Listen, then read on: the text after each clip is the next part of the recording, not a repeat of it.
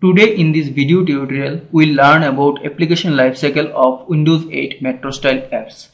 Let's start with the discussion followed by a small example. When a process is not running and the user activates the process, the application comes to launch state that is the running state. This could be either because the application was never launched or it was suspended but removed from the memory.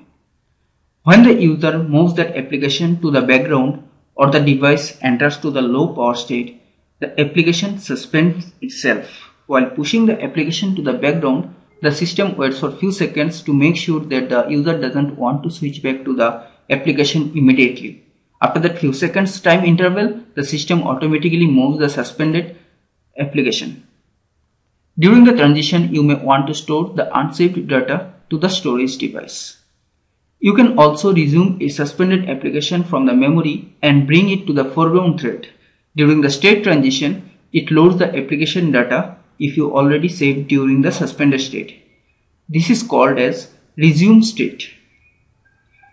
If you don't want to resume and the application memory available memory is low, the system will terminate the unused application itself.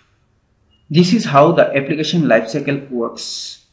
Let us discuss the application lifecycle with a small example. When a user launches the first application, it comes to the running state. When the user launches the second application, the first application moves to the suspended state and the second app comes to the running state.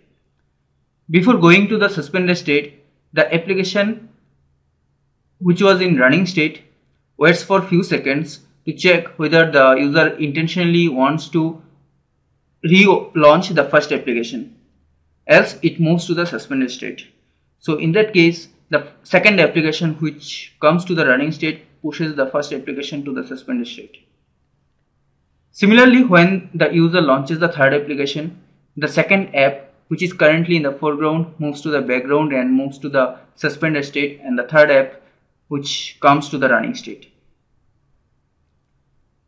When the user wants to relaunch the second app which is currently in the suspended state, the third app goes to the suspended mode and the second app comes to the running state.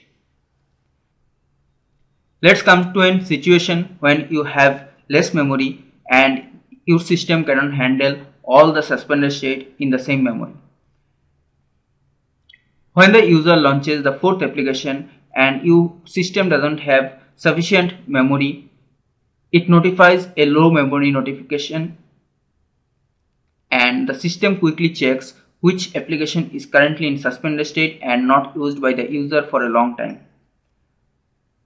It finds that the application 1 which was in suspended state was not used by the user for a long time.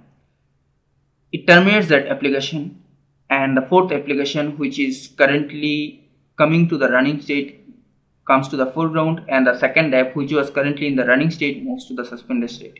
This is how the application lifecycle works in Windows 8 Metro style apps. Thank you so much for attending the video tutorial. Here is my technical blog URL where you can find lots of article, tutorials, news, tips and tricks also like my Facebook page to be connected with me. I'm also available on Twitter. You can find me at Kunal2383. Thank you.